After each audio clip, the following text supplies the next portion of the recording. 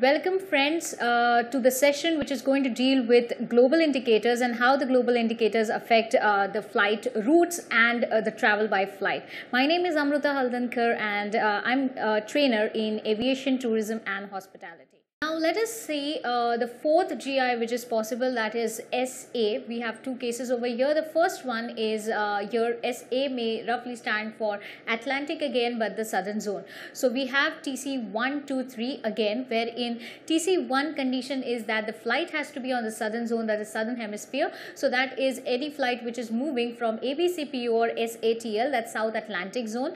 Then it crosses over the Atlantic again so that's how the name is SA.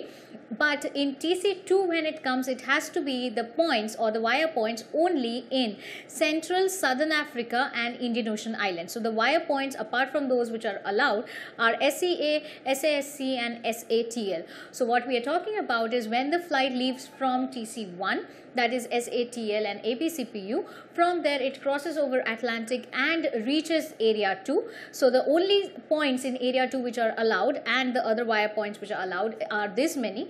Further ahead it, the flight goes to area 3 which is SEA and SASC only.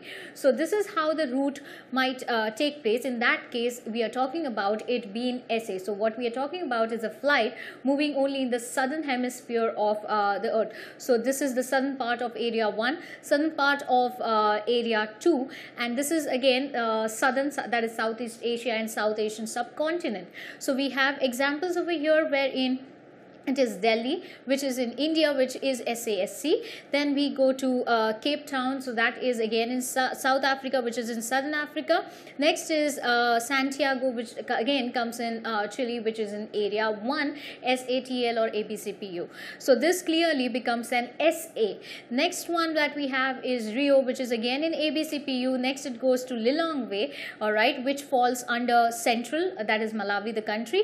And the next one is Beijing which is in China Which is again in SEA which is in TC3. So this has the GI as SA. SA area 1, 2, 3 again. So Delhi we have here in India area 3.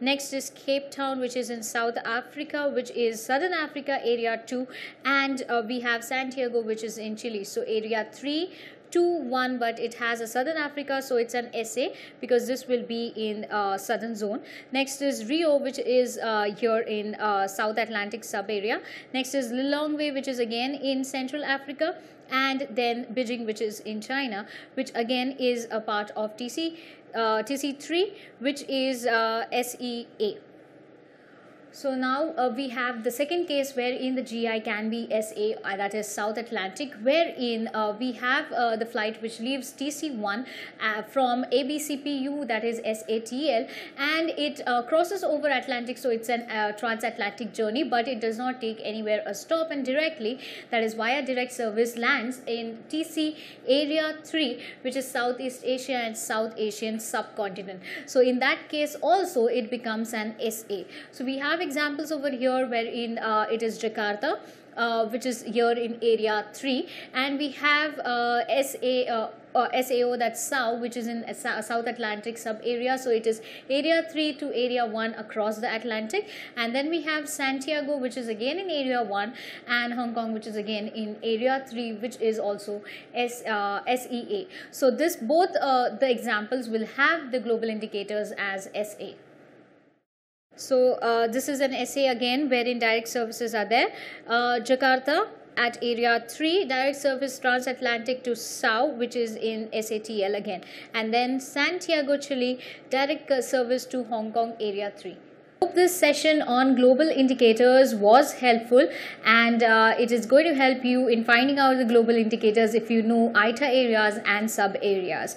Uh, you may find uh, my profile on uh, LinkedIn if you have any queries about this session. Thank you so much. Have a great day.